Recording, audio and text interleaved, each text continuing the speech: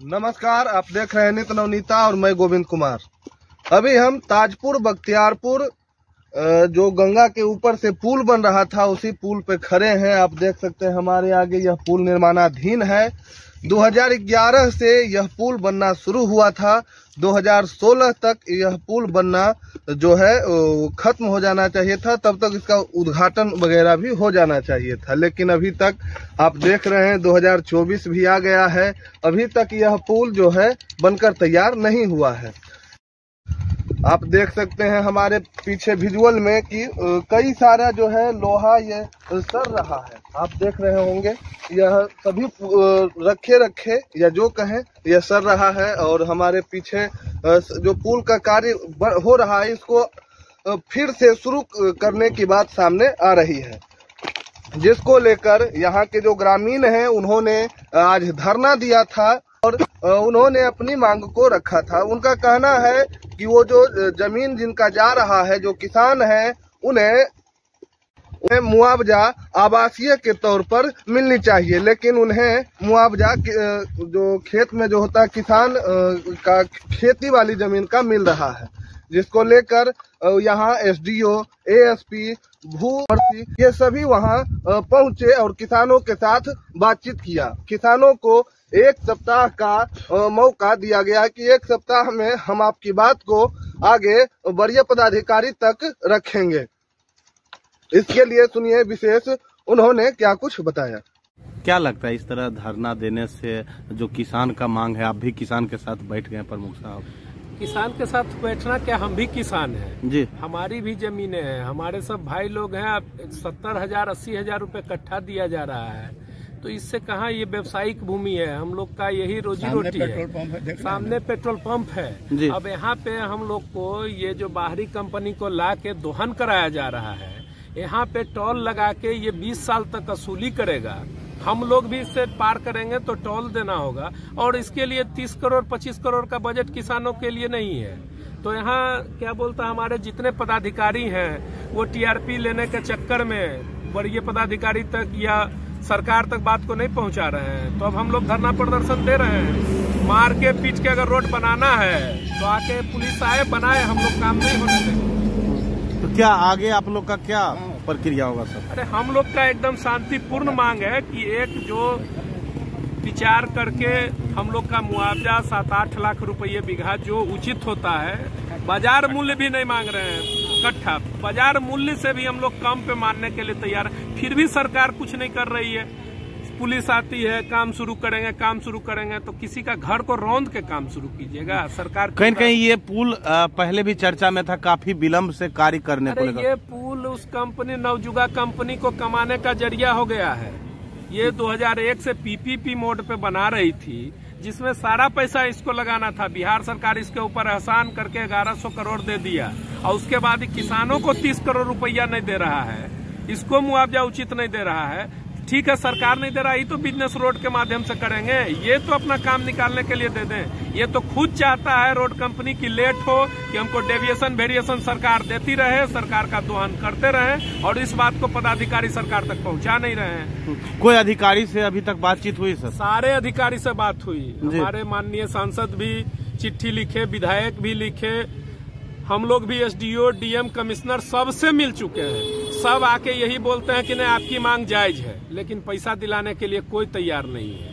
अब मांग जायज़ है ट्रिब्यूनल में केस कर दीजिए हाई कोर्ट चल जाइए ये सब कह के और काम का, काम को शुरू कराने के लिए दबाव बनाते हैं। केस करने की धमकी देते हैं तो भाई अब रौंद के अगर केस बनाना है रोड को तो बनाइए उसके लिए तो सरकार सक्षम है। हम लोग को रौंदे बिना यहाँ रोड नहीं बनेगा। तो मतलब आप लोग यहाँ बैठ के मतलब आगे काम नहीं होने देना नहीं नहीं काम का मुआवजा के लिए कमिट कर दे जी, आके। जी। काम करे हम काम में सहयोग करने के लिए हैं। मतलब केवल मुआवजा मांग है आपका? मुआवजा की मांग है। परियोजना हमारे लाभ के लिए है हम सरकार के विरोध में नहीं है। अपनी हक और हिस्सेदारी की मांग लेकिन मुआवजा तो दिया गया है ना कृषि क्षेत्र के आधार पर? एक लाख रुपये दिया गया आप खुद देख सकते हैं कि यहाँ क्या है ज़मीन का स्थिति। घर बनाने का कितना लोगों को ज़मीन नहीं है मात्र यही ज़मीन है। अब उसको एक लाख में कहाँ सरकार दे देगी? हम लोग को पुनर्स्थापित करा देना इतना ज़मीन ही खरीद के दे दे। मुआवजा की बात छोड़ दीजिए। जो हम लोग को ज़मीन ही बगल में कहीं खरीद के दे दे। तो अभी सरकार का रोज है कि काम ज़बरदस्ती करेंगे काम ज़बरदस्ती करेंगे। हम लोग सभी दरवाज़ा से थक गए हैं बात होकर आज यहाँ बैठ गए हैं। कि भाई अब हम लोग को आप रौंद के अगर रोड बनाना चाहते हैं तो बनाइए। क्या परिचय हुआ सर? हम राजकिशोर सिंह हुए अथमल गोला प्रमुख प्रतिनिधि। धरना आप लोग दिए हुए हैं क्या मांग है?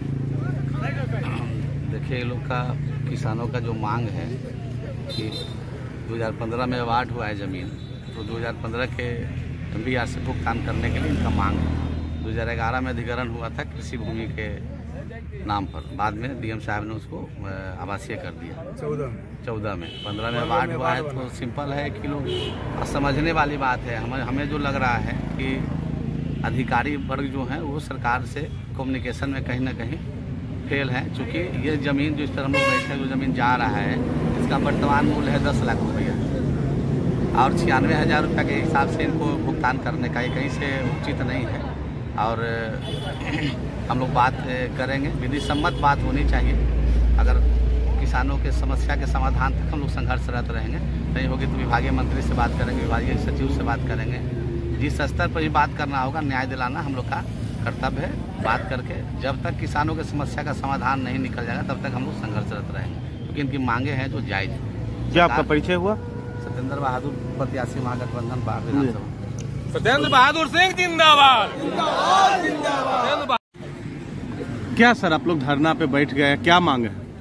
देखिए इसका मांग कुछ ज़्यादा नहीं है। 2011 में ज़मीन अधिग्रहण हुआ। 11 में अधिग्रहण हुआ तो इसको एग्रीकल्चर करके किया। एग्रीकल्चर में पेट्रोल पंप भी एग्रीकल्चरे किया है। आज तक एग्रीकल्चरे है। चिमनी भट्टा। चिमनी भट्टा है ये होटल है ये सब एग्रीकल्चर ज़मीन है। जी। सरकार के नज़र में।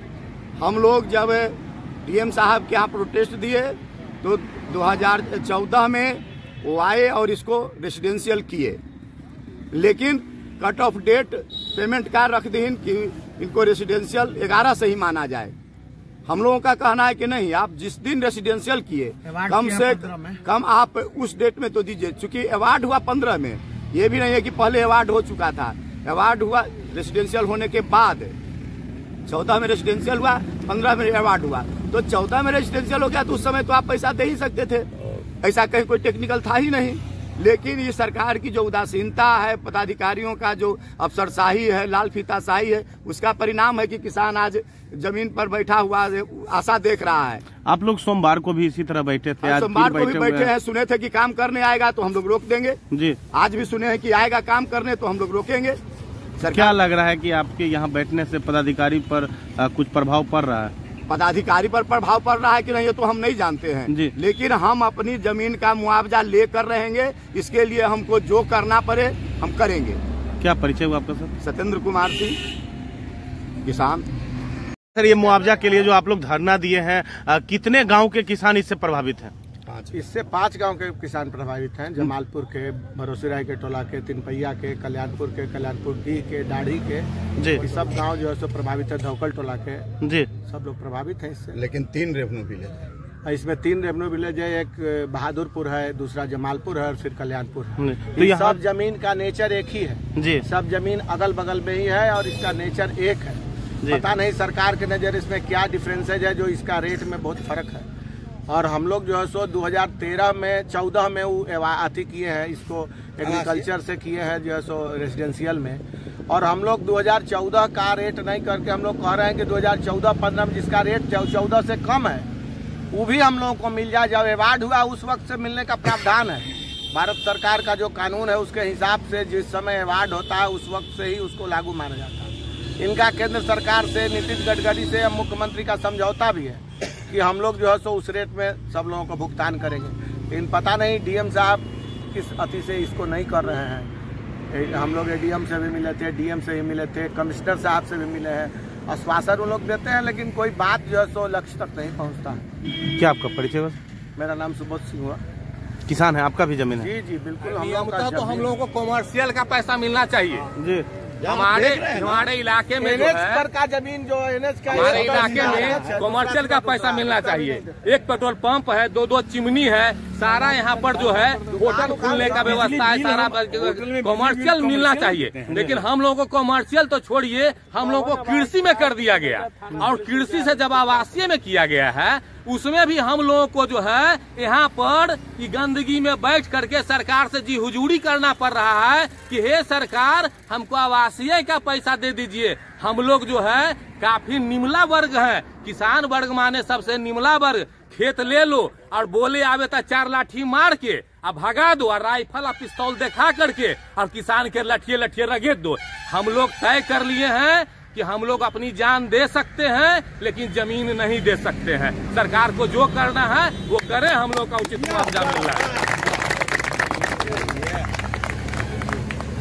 को लेकर प्राधिकार में पैसा जा चुका है और ये लारा कोर्ट में ये लोग अपना केस लड़ भी रहे हैं। तो उसी के संबंध में बात हुआ है मुआवजा को लेकर बात हुआ है।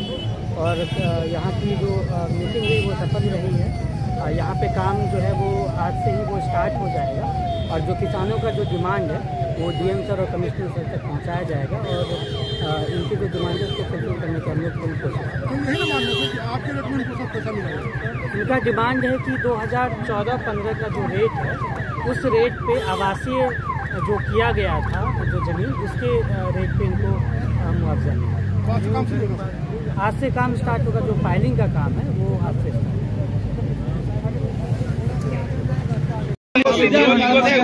हमको दीजिए हम नियम हम नहीं जानते हैं पंद्रह में ज़्यादा उस समय जो रेट होगा जैसे मान लीजिए सर्वे में गलत हो गया है वो आपका मिला सर धरना समाप्त किया गया।